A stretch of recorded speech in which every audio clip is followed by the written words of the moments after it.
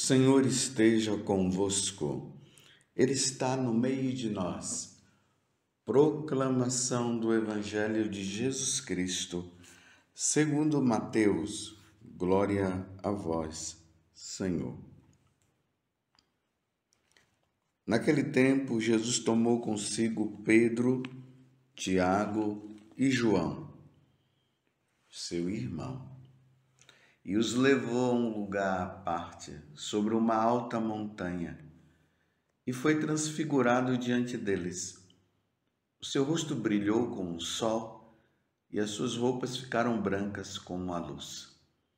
Nisto, apareceram-lhes Moisés e Elias, conversando com Jesus. Então Pedro tomou a palavra e disse: Senhor, é bom ficarmos aqui. Se queres, vou fazer aqui três tendas: uma para ti, outra para Moisés e outra para Elias. Pedro ainda estava falando quando uma nuvem luminosa os cobriu com sua sombra. E da nuvem uma voz dizia: Este é o meu filho amado, no qual eu pus todo o meu agrado escutai-o. Quando ouviram isto, os discípulos ficaram muito assustados e caíram com o rosto em terra. Jesus se aproximou, tocou neles e disse: Levantai-vos e não tenhais medo. Os discípulos ergueram os olhos e não viram mais ninguém a não ser somente Jesus. Quando desciam da montanha, Jesus ordenou-lhes: Não conteis a ninguém esta visão, até que o Filho do Homem tenha ressuscitado dos mortos. Palavra da salvação. Glória a vós, Senhor. Meus irmãos e minhas irmãs, hoje é domingo, dia do Senhor. E estamos agora no segundo domingo da quaresma. Como nós costumamos dizer no ditado popular, a fila anda. Ou seja, o relógio continua com o ponteiro rodando para indicar que o, realmente o tempo está passando. E se a fila anda, nós estamos também nessa fila. Mas para onde nós estamos caminhando? Nós só temos dois rumos, meus irmãos. Ou nós caminhamos para a salvação eterna, ou nós caminhamos para a perdição eterna. Em qual das filas você está? Por isso que o tempo da quaresma é esse tempo de reflexão, de observação. Estou caminhando bem? Em que caminho eu estou? Se eu estou no caminho errado, eu preciso entrar no caminho certo. Por isso é conversão, mudança de rumo. Para onde você vai? E aonde você terminará? Aonde eu terminarei? Diante da situação do mundo, nós vemos tantas pessoas que estavam no caminho certo e se desviaram e terminaram no caminho errado. Tem outras que estavam no caminho errado e se converteram e caminharam no certo e foram fiéis até a morte. E isso nós podemos ver na vida dos santos. Foi assim a vida deles. Estavam no caminho errado e passaram a caminhar no certo e perseveraram até o fim e tiveram a salvação. Mas por que, que eu estou falando isso para você hoje, no segundo domingo da quaresma? Justamente por causa das leituras de hoje. Nós devemos seguir a quem? Quem é o nosso Deus? A quem nós devemos adorar? São tantos deuses fabricados pelos homens na sociedade que nós vivemos. E hoje ainda tem aquela questão que dizem que todas as religiões nos leva a Deus, nos leva à salvação, mas a pergunta é: qual Deus? Que Deus é esse? Nós precisamos notar que o nosso segmento precisa ser ao Deus que veio e que foi revelado. E que veio revelado aonde a revelação ela vem de cima. Ela não pode vir dessa ou daquela cidade. Desse ou daquele país ou daquela nação aonde as pessoas foram lá e criaram os seus deuses e disseram: é esse Deus que nós devemos seguir. Como Deus é criador de todas as coisas, ele habita no céu e é do céu que ele se revela. É do céu que ele vai dizer: é por aqui que você deve seguir para estar comigo um dia. Espero que isso fique bem compreensível. Você entendeu? a revelação de Deus vem do céu, vem de cima, não vem de baixo. E aí nós encontramos no evangelho de hoje Pedro, Tiago e João, que é chamado por Jesus para subirem a uma montanha. Lembremos que eles estão lá na Galileia. Essa montanha hoje dá-se o nome de Monte Tabor. E ali Jesus chama-os a rezar. E de repente Jesus começa a ficar com o rosto brilhante como o sol. E suas roupas ficaram brancas como a luz.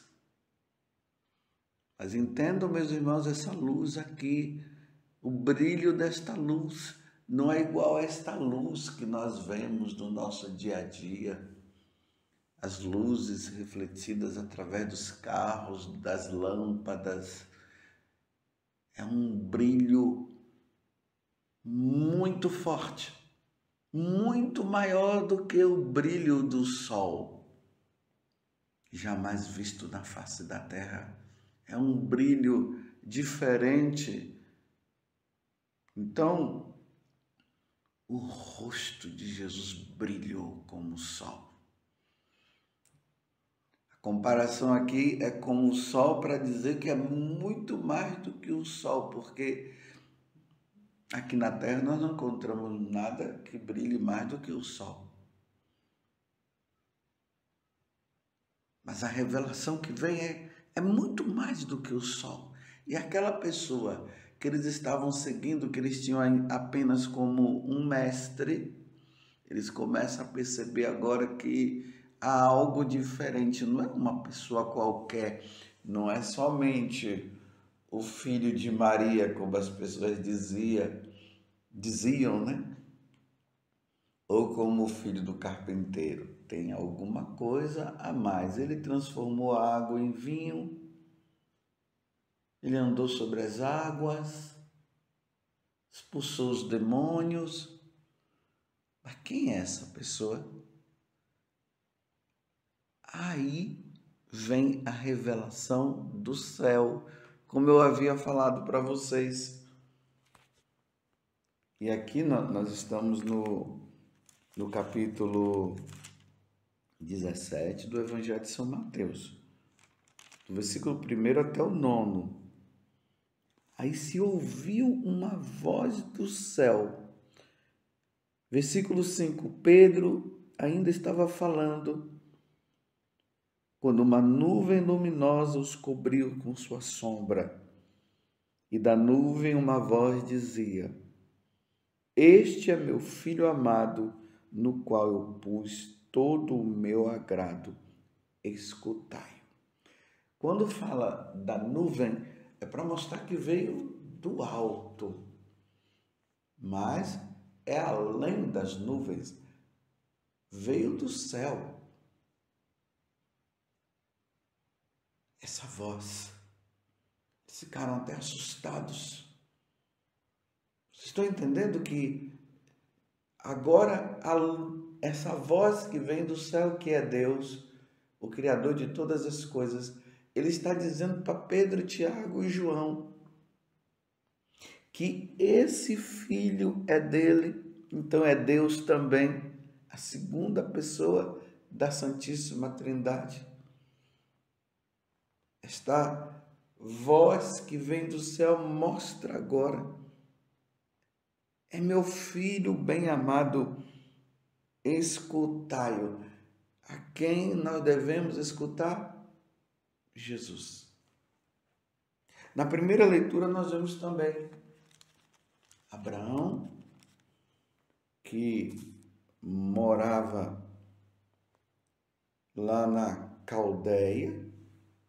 Então, Abraão, ele era da cidade de Ur, dos caldeus, dos caldeus, lá do sul da Mesopotâmia. Então, imagina que Abraão estava no meio desses povos, com esses deuses que foram criados por eles mesmos. Depois vocês procurem aí pesquisar os deuses caldeus, os deuses da Mesopotâmia. Aí você vai ver o nome desses deuses.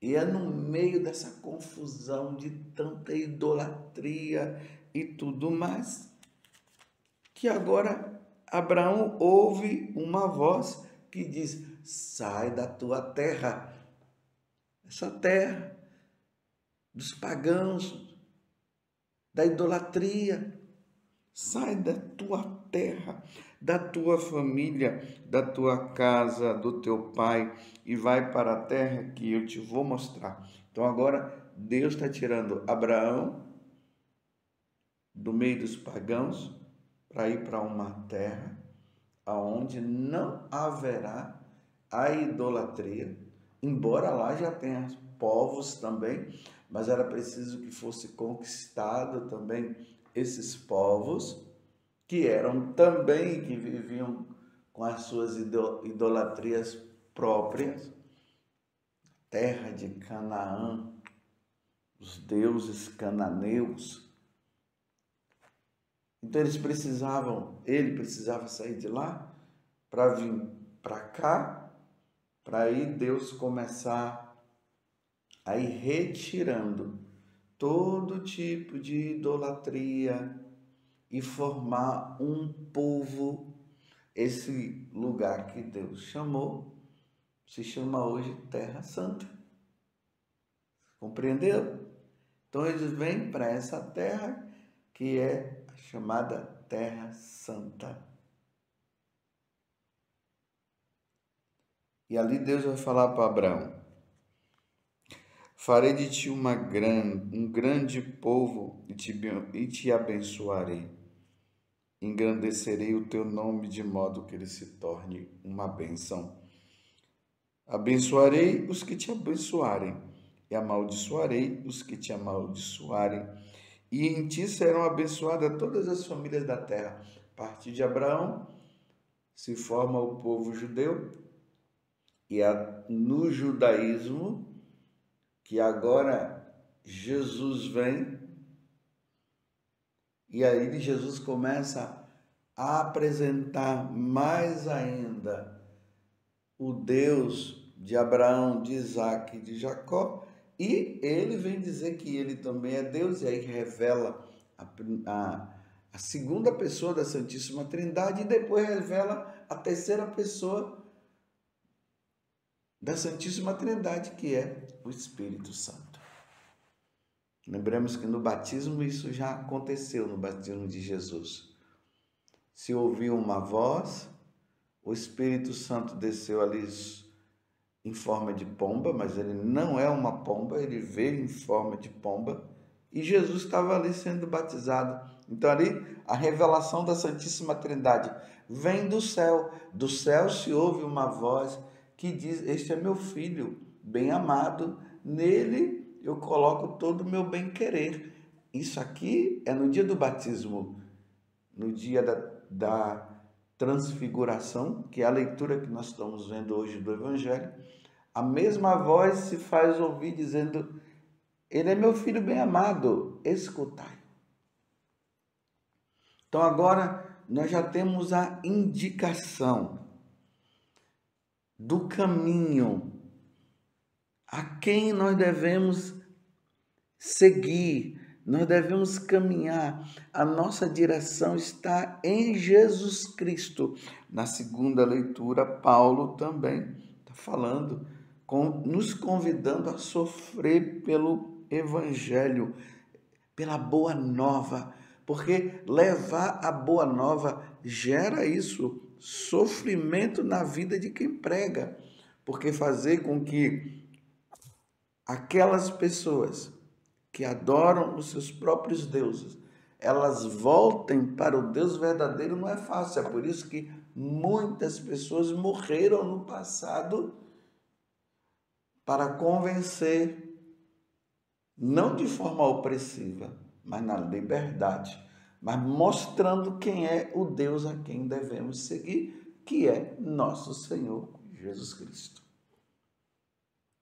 E os seguidores de Jesus, vai falar lá no, no livro dos Atos dos Apóstolos, na cidade de Antioquia, deu-se o nome de cristãos. É por isso que nós somos cristãos agora. Nós já não somos mais do judaísmo, nós somos do cristianismo, porque Jesus se revelou ali. Os apóstolos o seguiram, e os apóstolos pregaram a boa nova de Jesus. Então, os seguidores de Jesus chamaram-se cristãos.